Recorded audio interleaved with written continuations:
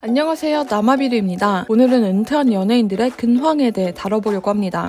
오키나와 액터스 스쿨을 시작으로 슈퍼 몽키스를 거쳐 솔로 아티스트로 전향한 아무로 나미에 그녀는 Can You Celebrate, Sweet 19 Blues 등 히트곡을 내며 90년대를 풍미했죠. 특히 패션이나 메이크업을 흉내내는 아무라가 사회 현상으로 부상하며 인기를 실감케 했습니다. 그런 그녀는 40번째 생일인 2017년 9월에 1년 후인 2018년에 은퇴한다는 것을 발표했는데요. 은퇴일이 가까워지자 가족이나 스텝, 또 오키나와의 친척에게 언론의 취재가 계속되어 이를 자제해달라는 호소까지 했을 만큼 만큼 많은 주목을 받았습니다. 지금은 일반인이기 때문에 더욱더 취재가 어려워졌지만 목격담을 바탕으로 여러 추측 기사가 있었죠. 은퇴 후에 그녀는 교토에 거주 중이란 얘기가 있었습니다. 아들이 교토의 한 대학에 진학한 것으로 알려져 그녀도 같이 교토로 이사 갔다는 내용이었습니다. 실제로 은퇴 전에 교토에 2억엔짜리 맨션을 현금으로 구입했는데요. 이후 그 주변에서 쇼핑하는 것을 봤다는 등의 목격 정보가 나왔고요. 맨션의 이름까지 인터넷에 알려졌는데 유명 신사와 가까운 곳으로 한 층 전체를 사용하며 약 150평 평방미터나 되는 넓이라고 알려졌습니다. 한편 은퇴 전 마지막 투어에서 그녀는 약 80만 명의 관객을 기록했고 라이브의 DVD도 약 130만 장을 팔아서 약 200억엔 넘는 매출을 올렸다고 알려졌는데요. 이 중 30%가 그녀에게 간다고 해도 60억엔이라는 보도가 있었죠. 은퇴 전에는 시부야의 슈퍼에서 쇼핑을 하고 있는 모습도 주간지에 실렸었고요. 교토설 외에도 2020년에 들어서는 후배 육성에 도움을 주고 있다는 소문도 났습니다. 자니스의 안무가 전체적으로 오래된 느낌이어서 타키자와 사장이 이를 문제시 했고 아무로에게 부탁했다는 얘기가 있었죠. 공식적으로 나온 발표는 하나도 없었습니다. 참고로 은퇴 전 그녀는 일본 유명 소속사인 라이징 프로덕션에 속해 있었지만 현재는 독립해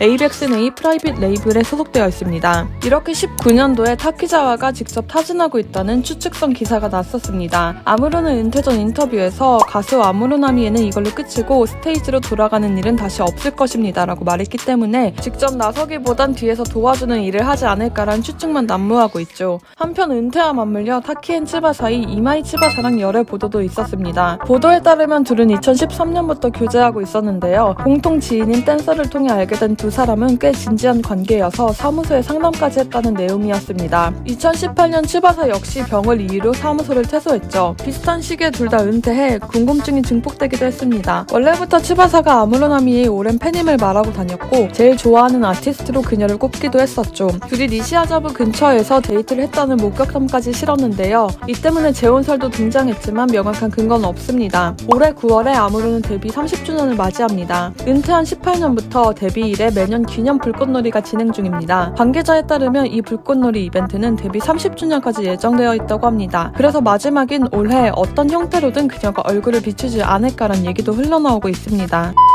나가세 토모야는 소년다의 팬이었던 누나가 자니스 사무소에 이력서를 보낸 것을 계기로 연예계에 발을 들이게 됩니다. 1994년에 그룹 토키오의 멤버로 활동하게 되었으며 팀에서 보컬 외에도 기타를 연주하는 등의 모습으로 인기를 얻습니다. 직접 작사와 작곡을 하는 등 음악을 진심으로 좋아했으며 배우로서도 두각을 나타냈죠. 그런 그도 2021년 자니스를 퇴소하며 연예계에서 어느 순간 사라졌죠. 이때 같이 퇴소한 3명의 멤버가 토키오라는 회사를 설립하며 이적했는데요. 나가세는 이 새로운 사무실에 소속되지 않아서 은퇴하는 게 아니냐는 말이 나왔죠. 그의 은퇴에 대한 배경에는 여러 추측이 있었습니다. 그가 퇴소하기 바로 전에 멤버였던 야마구치 타츠야가 탈퇴하는 일이 있었습니다. 불미스러운 일로 사무소를 퇴소하게 됐는데 나가세는 그를 많이 의지했다고 하죠. 그랬던 타츠야가 탈퇴하게 되자 나가세는 심하게 침울해진 것 같다는 보도가 있었습니다. 이 외에도 몇 년 전부터 어머니의 몸 상태가 급격하게 안 좋아져 곁에 있고 싶어 했다는 얘기도 있었죠. 초등학교 3학년 때 부모님이 이혼하고 했고 이후 누나와 어머니와 살게 된 만큼 각별한 사이라고 했죠. 나이가 있는 만큼 결혼에 대한 얘기도 있었는데요. 퇴소 전에는 열애설도 있었죠. 키가 크고 이국적으로 생긴 20대의 모델과 열애설도 있었습니다. 2018년 처음으로 지인의 소개로 알게 됐고 토모야가 먼저 접근해 교제를 발전했는데요. 당시 진지하게 교제하고 있고 나가세 토모야가 3, 4년 전부터 인터뷰에서 결혼에 강한 동경을 가지고 있는 것은 사실입니다 라고 언급하기도 해 이목이 집중되었습니다. 하지만 이후 헤어졌다고 합니다. 참고로 나가세 토모 토모야는 하마사키 아유미, 배우 아이브사키랑 공공연애 열애를 밝혔었죠. 그 중에서도 아유랑은 7년이라는 긴 기간 동안 사귀고 등에는 이렇게 커플 타투를 넣는 등 애정을 뽐냈지만 여러 사정상 헤어졌었죠. 토키오는 아이돌 활동 외에도 예능에 나오며 일본에서는 인지도가 높은 아이돌인데요. 특히 나가세는 여러 드라마와 영화에도 출연하며 인기가 많았습니다. 자니스 채소 공식 석상에서는 자취를 감췄지만 작년 4월에는 공식 인스타그램을 개설했습니다. 한 기사에선 7월에는 광고지의 모델로 모델로서 등장했고 8월 말에는 오토바이 잡지의 표지도 맡았다며 연예 활동을 재개하는 것이 아니냐는 내용도 실렸었죠. 최근에 나온 기사에 따르면 영화를 제작하고 취미를 즐기면서 돈이 부족하단 말도 있었는데요. 현재 수입은 단발성이어서 자니스 때 모아둔 돈을 깨면서 생활하는 것 같다는 얘기였지만 그냥 하고 싶은 거 하면서 잘 살고 있는 것 같습니다. 인스타그램을 들어가 보니 연예 활동 재개란 느낌보다는 낚시하고 오토바이를 즐겼다며 지인들과 재밌는 시간을 보내는 게 느껴집니다. 노부타를 프로듀스 아름다운 그대에게 등의 드라마에 출연해 국민 여배우로서 활동을 하고 있었던 호리키타 마키. 청순 여배우로서 많은 인기를 끌었지만 2015년에 야마모토 코지와 결혼을 발표하고 다음 년도에는 첫 아이를 출산합니다. 그리고 2017년에 육아 집안일에 전념하기 위해 연예계를 은퇴했는데요. 당시 갑작스러운 은퇴에 충격을 받은 사람도 많았었죠. 이때 결혼 비하인드가 특이해서 눈길을 끌었는데요. 둘은 2019년에 방송된 드라마에 같이 출연하며 알게 됐고 그때 코즈가 연락처를 물어봤지만 마키는 사무실에 번호를 줬었죠. 이후 2010년엔 스페셜 드라마에서 두 번째로 만나게 됩니다. 그리고 2015년에 무대에서 또다시 만나게 되는데요. 야마모토 코즈는 아기 시절부터 모델로서 활동한 잔뼈 굵은 연예인이죠. 시대극과 뮤지컬의 귀공자로 불리울 만큼 화려한 경력을 자랑하는데요. 스피드의 우에하라 다카코, 스자느 등과 열애설이 나며 공동 출연자 킬러로 알려지기도 했었습니다. 결혼에 대해선 별 생각이 없었던 그였지만 마키를 보고 생각이 뒤집혔다고 합니다. 처음부터 호감이 있었던 코즈는 마키에게 40통의 편지를 주며 적극적으로 다가 갔다고 합니다.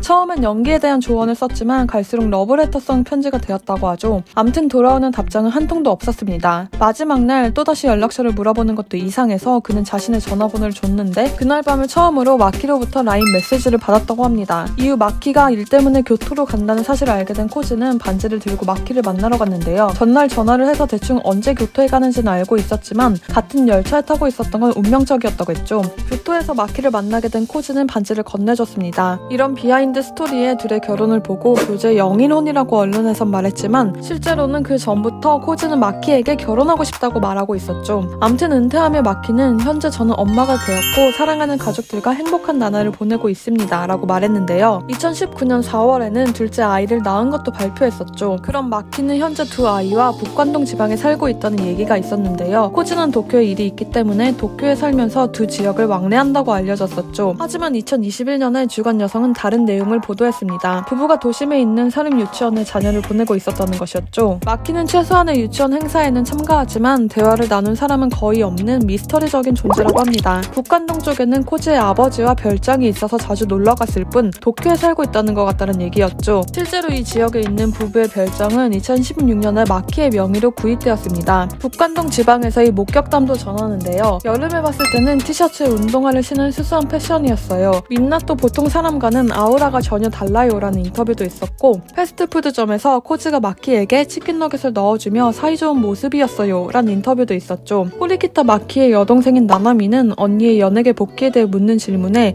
복귀할 일은 없습니다라고 딱 잘라 말했는데요. 최근 11년 만에 마츠우라 아야도 CF에 출연하면 팬들을 반갑게 한 만큼 다들 언젠간 돌아오지 않을까란 기대감이 있는 것 같습니다. 오늘의 영상은 여기까지입니다. 오늘도 영상을 시청해주셔서 감사합니다.